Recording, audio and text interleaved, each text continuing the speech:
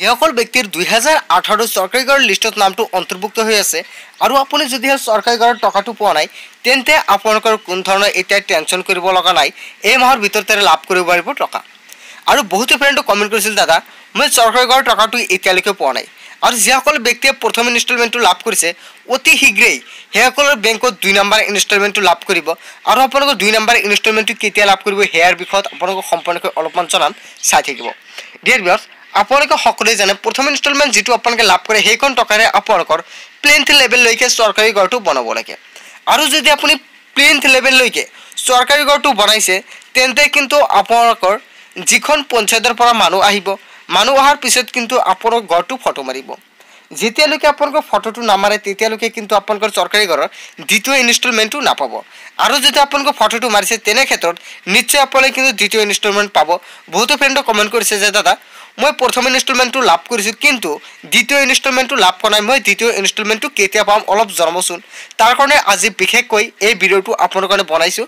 যদি আপোনালোকে ছেকেণ্ড ইনষ্টলমেণ্টটো পোৱা নাই সোনকালে আপোনালোকৰ যিখন প্ৰথম ইনষ্টলমেণ্টটো লাভ কৰিছে লাভ কৰাৰ পিছত সেইখন টকাৰে আপোনালোকৰ ঘৰটো প্ৰথমতে প্লিন্থ লেভেললৈকে বনোৱাৰ পিছত পঞ্চায়তৰ পৰা মানুহ আপোনালোকে মাতি অতি সোনকালে খবৰ কৰক যে মোৰ ঘৰটো প্লিন্থ লেভেললৈকে হৈ গৈছে। এতিয়া ফটো মাৰক।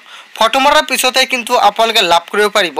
ছেকেণ্ড ইনষ্টলমেণ্ট আৰু ছেকেণ্ড ইনষ্টলমেণ্টটো লাভ কৰাৰ পিছত আপোনালোকৰ ঘৰটো আকৌ ফটো মাৰিব। যেতিয়া আপোনালোকৰ ছেকেণ্ড ইনষ্টলমেণ্টৰ যিখিনি টকা লাভ কৰিব টকাখিনিৰে আপোনালোকে যেতিয়া ঘৰখিনি বনাব বনোৱাৰ পিছত আপোনাৰ থাৰ্ড ইনষ্টলমেণ্টটো লাভ কৰিব।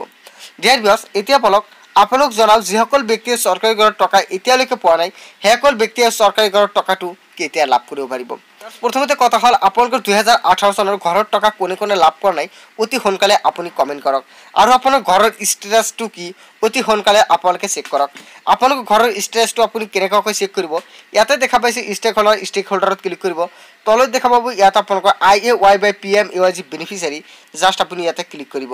ক্লিক কৰাৰ পিছত অলপ সময় ৱেইট কৰিব। ৱেইট কৰাৰ পিছত দেখা পাব ইয়াতে ইণ্টাৰ ৰেজিষ্ট্ৰেশ্যন নাম্বাৰ ইয়াত আপোনালোকৰ চৰকাৰী ঘৰৰ সকলোৱে এটাকৈ ৰেজিষ্ট্ৰেশ্যন নাম্বাৰ দিয়া থাকে। আপোনালোকৰ ৰেজিষ্ট্ৰেশ্যন নাম্বাৰটো ইয়াতে বহাই দিব। আৰু যদি আপোনালোকৰ চৰকাৰী ঘৰৰ ৰেজিষ্ট্ৰেশ্যন নাম্বাৰ কোনটো আপুনি নাজানে নিশ্চয় কমেণ্ট কৰিব নেক্সট ভিডিঅ'ত দেখাম। আৰু তাৰ লগতে এইখন চৰকাৰী ঘৰৰ ৰেজিষ্ট্ৰেশ্যন নাম্বাৰটো আপুনি ক'ৰ পৰা লাভ কৰিব সেয়াও দেখাম। যদি আপোনালোকৰ দুহেজাৰ আঠাৰ চনৰ চৰকাৰী ঘৰ হয় তেন্তে কিন্তু আপোনালোকৰ ৰেজিষ্ট্ৰেশ্যন নাম্বাৰটো পঞ্চায়তৰ পৰা আনিব লাগিব। কিয়নো আপোনালোক কিন্তু পঞ্চায়তৰ বাহিৰে এতিয়া কিন্তু অনলাইনৰ মাধ্যমত লাভ কৰিব নোৱাৰিব আপোনালোকৰ দুহেজাৰ আঠাৰ চনৰ চৰকাৰী ঘৰৰ যিখন লিষ্টৰ ৰেজিষ্ট্ৰেশ্যন নাম্বাৰ সেইখন কিন্তু এতিয়া আপোনালোকে লাভ কৰিব নোৱাৰিব। এতিয়া আপোনালোকৰ নতুনকৈ যিখন দুহেজাৰ আঠাৰ ৰেজিষ্ট্ৰেশ্যন নাম্বাৰ সেইখন ৰেজিষ্ট্ৰেশ্যন নাম্বাৰটো লৈ আহিব লাগিব আপোনালোকৰ পঞ্চায়তৰ পৰা। আৰু পঞ্চায়তৰ পৰা আপোনালোকে ৰেজিষ্ট্ৰেশ্যন নাম্বাৰটো লৈ অহাৰ পিছত জাষ্ট দেখা পাব ৰেজিষ্ট্ৰেশ্যন নাম্বাৰ ইয়াত আপুনি ক্লিক কৰিব। ক্লিক কৰাৰ পিছত দেখা পাব ইয়াতে মোৰ বহুকেইটা ৰেজিষ্ট্ৰেশ্যন নাম্বাৰ ইয়াতে অলৰেডি হৈ গৈছে। এইখনৰ পুৰণি ৰেজিষ্ট্ৰেশ্যন নাম্বাৰ জাষ্ট এইখন পুৰণি ৰেজিষ্ট্ৰেশ্যন নাম্বাৰৰ সৈতে আপোনাক দেখাই দি আছোঁ। ছাবমিটত ক্লিক কৰিব।